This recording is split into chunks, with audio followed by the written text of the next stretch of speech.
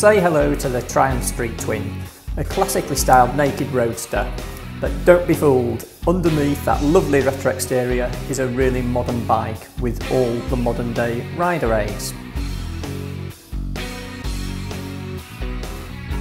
Continuing with its looks, I absolutely love this. Everything's well proportioned, everything looks like it should be there and isn't out of place, and there's lots of really cool details that make all the difference.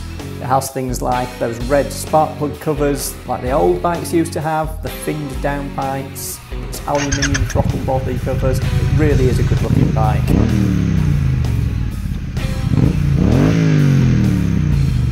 The Street Twin has a 900cc engine so you think it's going to be quite hefty, but actually light and small. I had it parked next to a friend's Honda CB125F and they were about the same length and about the same height too.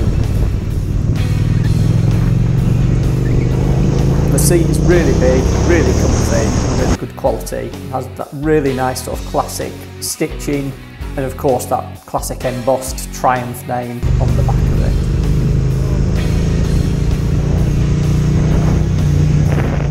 Riding position itself is comfortable too. It's fairly upright and even though my knees were at quite an angle because I'm six foot tall, they tucked up perfectly into the cutouts of that shaped tank.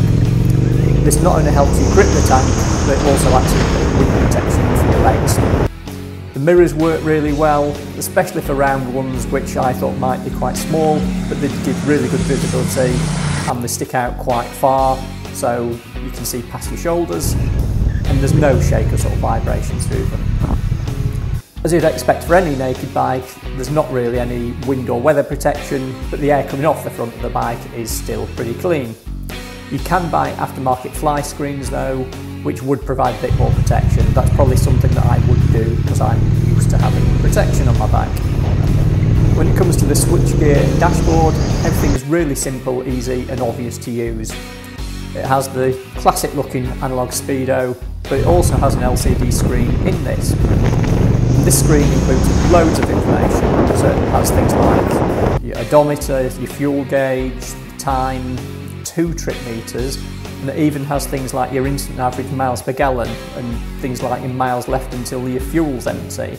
So although it looks all classic and old school, it's got all those mod cons too. Again, the throttle, that's ride-by-wire rather than a cable, and I found that to be really responsive. The clutch was extremely light, it's a slipper clutch, really easy to use. The bike also includes ABS because of Euro 4 compliance, and it has traction control too, but that is switchable so you can switch it off. Um, there's even a USB port under the seat so you can keep your phone or other technology charged up or if you're using your phone for sat nav, you could have that plugged in all the time so it doesn't kill your battery.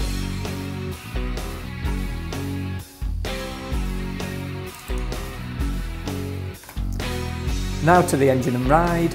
When I looked at the specs, I was surprised that for a 900cc engine, it only had 54 brake horsepower, which sounded quite low.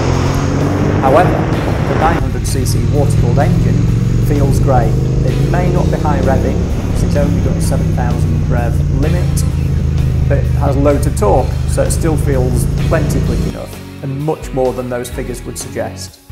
It's also really smooth, but the best thing about it I thought was the noise it makes. The actual bike I was riding had the optional Vance & Hines exhaust. Still has one each side, not a two into one.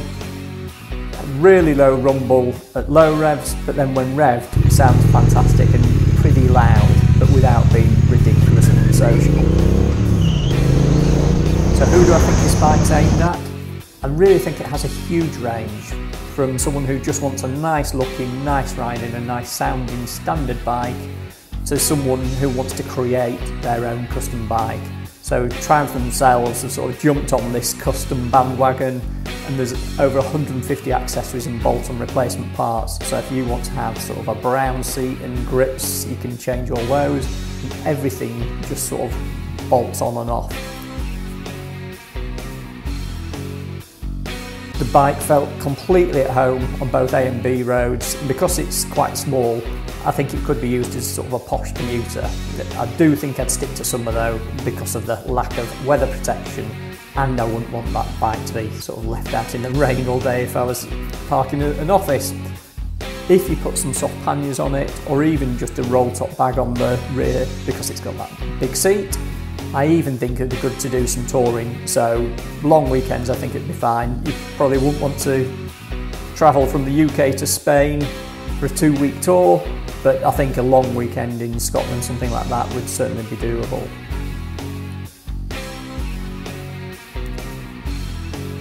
So as I'm singing its praises so much, I can hear you already asking, so how much is it? So for everything I think this bike's suited to, I actually think it's quite reasonable for a brand new bike of this quality. It's £7,800 on the road. Now for my usual positives and negatives. So the three things that I like best about this bike are number one, the engine and the noise that engine makes, especially with those and Hines pipes. Number two, how easy it is to ride and its handling. It really is a nice riding bike. And number three is its build quality. Everything is really well put together and is decent quality. And for the negatives, I found it to be a little bit windy, but then again, it's a naked bike, so that's what you sort of expect. Um, one niggly thing I found after I refueled is that it didn't register this fuel for a couple of minutes, so it actually had me worried and I thought I might have just poured petrol everywhere. And finally, I think if it revved a bit more to give more top end power, it would be an even better bike.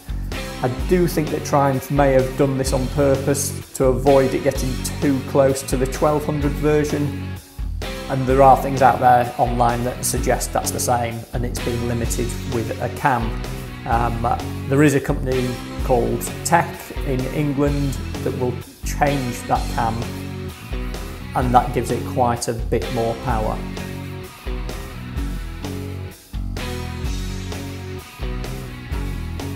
So in summary, I really enjoyed having a Street Twin for a day and was quite sad to give it back.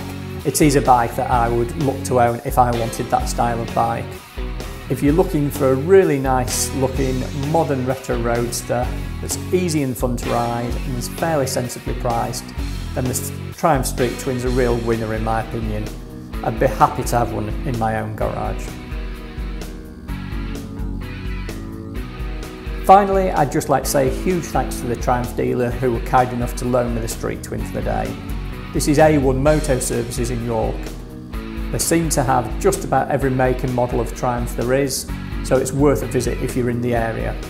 They even have a proper bikers cafe there, so it's worth a visit there just as a stop off. And you can find out more about A1 by going to a1moto.com and I'll include that link in the description.